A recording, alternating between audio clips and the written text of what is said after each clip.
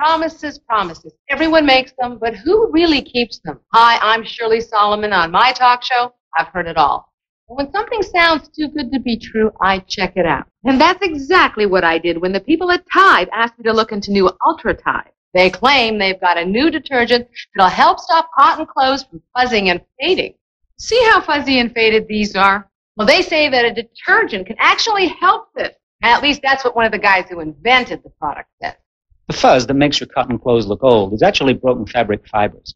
Ultra Tide's new ingredient, Carezyme, washes these fibers away so your clothes look better. No detergent has ever done this.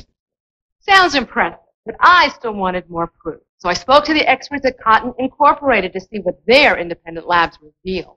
These socks were washed 40 times, one in regular detergent, one in new Ultra Tide, and the Ultra Tide sock looked much better. So it works on socks. Else? Well, how about sweaters, tights, shirts? I never would have believed it. This really works. Because of the results, Cotton Incorporated has allowed their seal of cotton to appear on a product that isn't even cotton. Here's President Nick Hahn. When you put colored cotton textiles into the laundry and wash it with new Ultra Tide, what comes out is a much newer, cleaner looking product. It works. Well, the claim was a big one, but I've checked it out and seen the results. New Ultra Tide really does help keep clothes looking better. No broken promises here.